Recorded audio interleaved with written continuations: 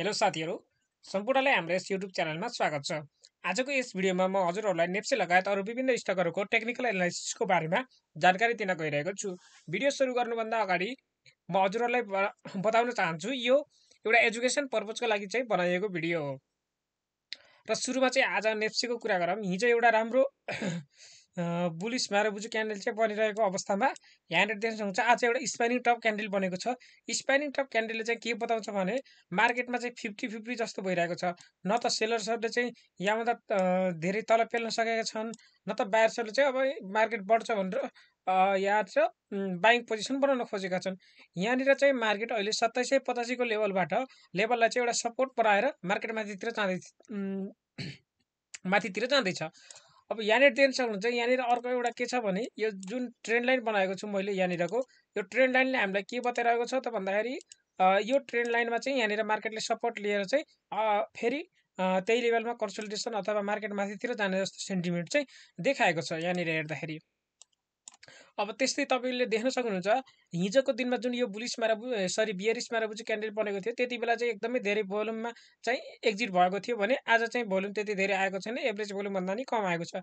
यानि कि आज भनेको कारोबार चाहिँ एकदमै कम मात्रामा कारोबार भयो भनेर चाहिँ यसले हामीलाई यहाँबाट बताएको छ। त्यस्तै हामीले चाहिँ moving average two hundred moving एभरेजबाट हिँड्दाखेरि ठ्याक्कै टु हन्ड्रेड मुभिङ एभरेजमा चाहिँ मार्केटले सपोर्ट लिएर सपोर्ट लिएको छ आजको क्यान्डलले र अब बढ्ने क्यान्डल क्यान्डलहरू चाहिँ भोलितिर यही लेभलमा चाहिँ कन्सल्टेसन भएर अथवा योभन्दा माथि ग्याप अप ओपनिङ भयो भने हामी एउटा इन्ट्री पोजिसन चाहिँ बनाउन सकिन्छ भनेर चाहिँ यहाँबाट भन्न सकिन्छ। जस्तै यहाँनिर देख्न सक्नुहुन्छ प्रिभियस प्रिभियस डेजहरूमा जसरी एउटा बियरिस क्यान्डल बनिसकेपछि फेरि एउटा जसरी ग्याप अप ओपनिङ भएर यहाँनिर मोर्निङ स्टारको प्याटर्न चाहिँ फर्मेसन गरेको छ यहाँनिर फर्मेसन गरेको छ यहाँनिर फर्मेसन गरेको छ यस्तै तरिकाले चाहिँ तपाईँले देख्न सक्नुहुन्छ यहाँनिर मर्निङ स्टार फर्मेसन गरेको गरेको छ होइन। अनि त्यस्तै गरेर फेरि तपाईँको यहाँनिर पनि मर्निङ स्टार फर्मेसन गरेको छ होइन? त्यस्तै तरिकाले चाहिँ मार्केटमा फेरि एउटा ग्याप अप ओपनिङ भएर बुलिस क्यान्डल बन्यो भने चाहिँ फेरि हामीले एउटा इन्ट्री पोजिसन चाहिँ बनाउन सकिन्छ भनेर भन्न सकिन्छ। अहिले तत्कालको लागि चाहिँ यो एउटा राम्रो सपोर्ट छ किनभने यहाँ चाहिँ टु हन्ड्रेड मुभिङ एभरेजलाई चाहिँ रेस्पेक्ट गरेर मार्केटले चाहिँ माथितिर नै क्लोजिङ चाहिँ दिएको छ। अब चाहिँ मार्केटमा यहाँ तल जाला कि माथि जाला भन्दाखेरि अहिले चाहिँ तत्कालकै लागि सपोर्टकै सपोर्ट एरियामा रहेको कारणले गर्दा अहिले तत्काल यसलाई ब्रेक ब्रेकडाउन नगरेसम्म एउटा चाहिँ अझै करेक्सन सकिएको छैन अथवा अझै करेक्सन चाहिँ कन्टिन्यू हुन्छ भनेर चाहिँ भन्न सकिँदैन। जब मार्केटले चाहिँ यो पोइन्टलाई ब्रेकडाउन दिएर मार्केट यसरी तल जान्छ त्यति बेला चाहिँ हामीले के गर्न सक्छौँ त यो यो लाइनभन्दा तल जाँदै गरेको बेलामा हामीले चाहिँ आफ्नो स्टकलाई हेरेर स्टक वाइज चाहिँ एनालाइसिस गरेर एक्जिट पोजिसन बनाउन सक्छौँ। यदि यहाँबाट एउटा चाहिँ बुलिस क्यान्डल बन्यो ग्याप ओपनिङ भयो भने चाहिँ यसरी चाहिँ मार्केट फेरि के हुन्छ त अप जाने जस्तो चाहिँ यहाँबाट सिनारियो चाहिँ देखिन्छ। अब हेरौँ लेट सी के हुन्छ होइन?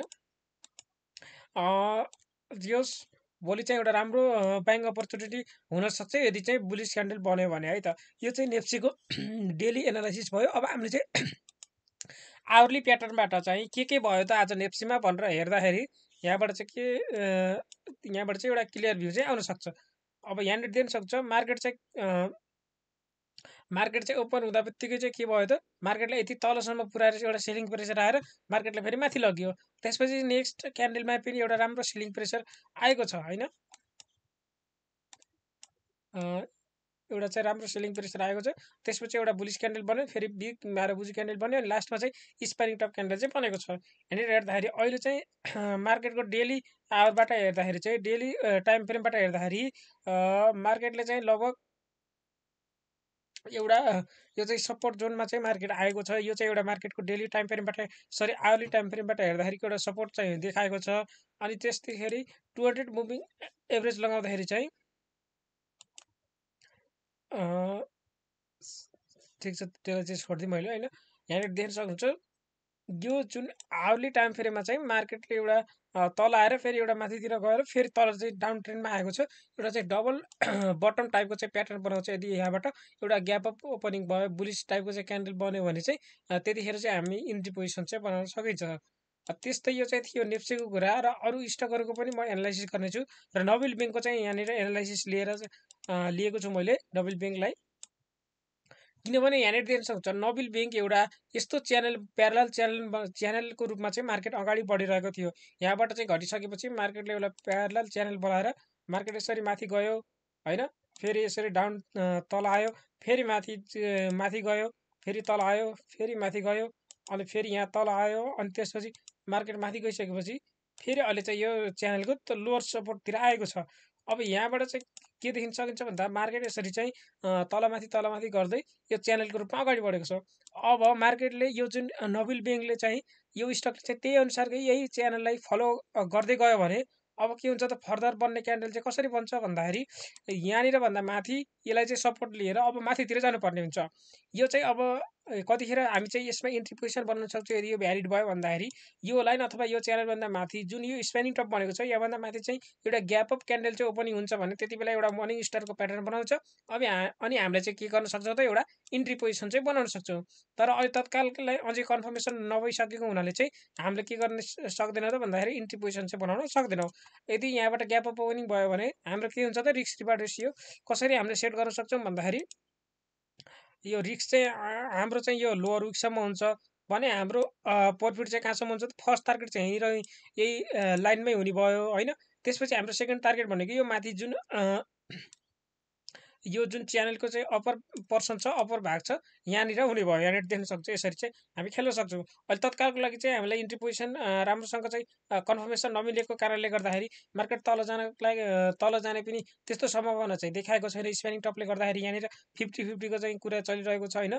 यदि चाहिँ मार्केट घट्यो भने चाहिँ मार्केटले फेरि सपोर्ट लिन यही नजिकै सपोर्ट जोन मार्केटको लागि त्यो कारणले गर्दा फेरि यसमै सपोर्ट लिएर फेरि माथितिर चाहिँ मार्केट चाहिँ बुब हुनसक्छ त्यसरी चाहिँ अब हामीले फेरि त्यसको अनुसार फेरि हामीले छुट्टै हाम्रो एउटा चाहिँ छुट्टै पोजिसन बनाउन सक्छौँ। अहिले तत्कालको लागि यहाँनिर स्पाइनिङ टप क्यान्डल देखिएको हुनाले हामीले चाहिँ के गर्न सकिन्छ त भन्दाखेरि भोलि बन्ने क्यान्डलले यदि ग्याप अप ओपनिङ दियो भने हामी इन्ट्री पोजिसन चाहिँ बनाउन सकिन्छ है त।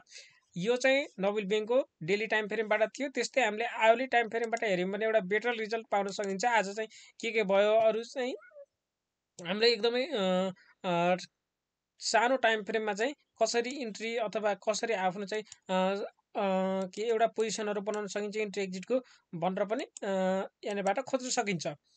यहाँनिर देख्न सक्नुहुन्छ आर्ली टाइम फ्रेमबाट हेर्दाखेरि चाहिँ मार्केटलाई एउटा तलसम्म पुऱ्याएर चाहिँ सेलिङ प्रेसर चाहिँ आएको रहेछ त्यसपछि बायर्सहरूले चाहिँ सुरुकै आवरमा चाहिँ के गरेका छन् त बाइङ गरेका छन्। अनि त्यसपछि मार्केटले चाहिँ कम्प्लिटली यो जुन सपोर्ट लाइन थियो योभन्दा तल चाहिँ कम्प्लिटली चाहिँ ब्रेकडाउन चाहिँ दिएको छैन। थोरै मात्रामा देखाएको छ।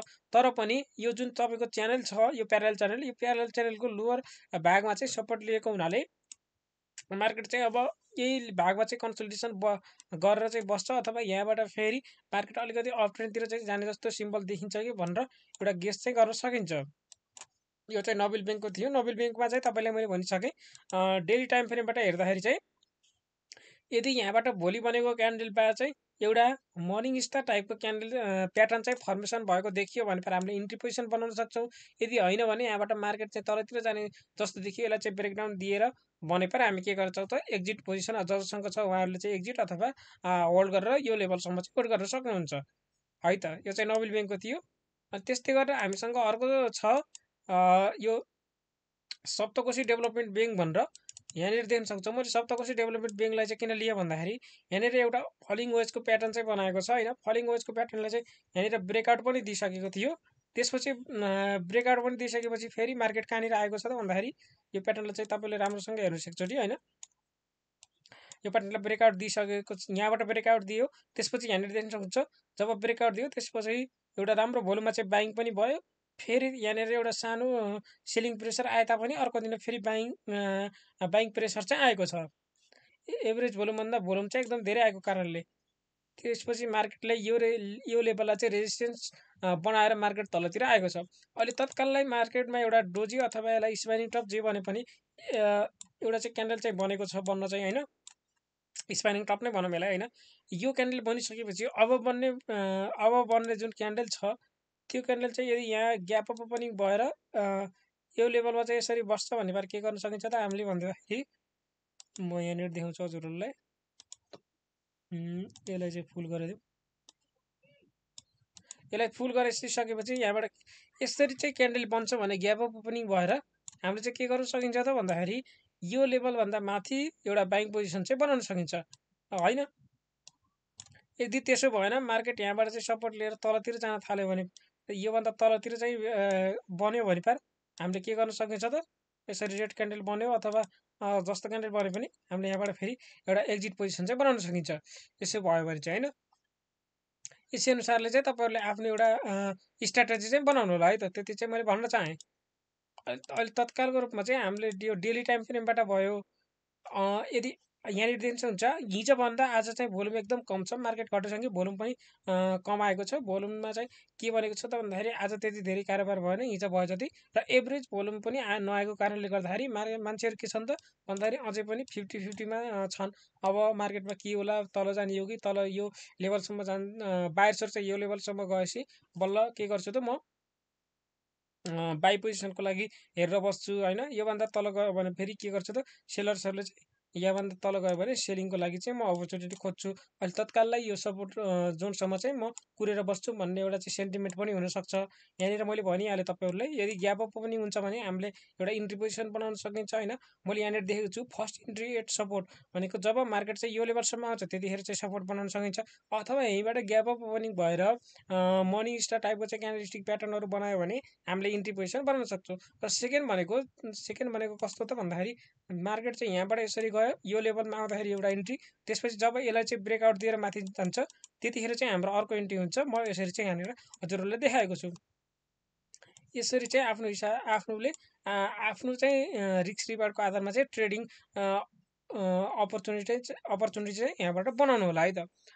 जो जो नयाँ हुनुहुन्छ जो जसले हाम्रो यस च्यानललाई अहिलेसम्म सब्सक्राइब गर्नुभएको छैन च्यानललाई सब्सक्राइब गरी साथमा रहेको बेल आइकन पनि दबाउनु होला।